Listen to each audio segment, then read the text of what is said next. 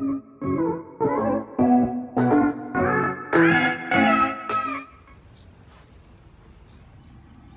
caught a little turtle. Look at him.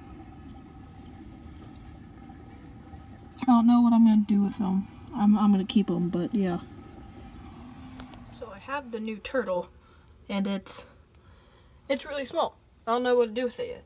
So I just put it in the tadpole tank because Sherbert is really big, and compared to him, it's Sherbert's a giant. Like two fingers, way bigger than him. Smaller than when I got Sherbert. So put him in here so far, and then later I might move him somewhere. But right now,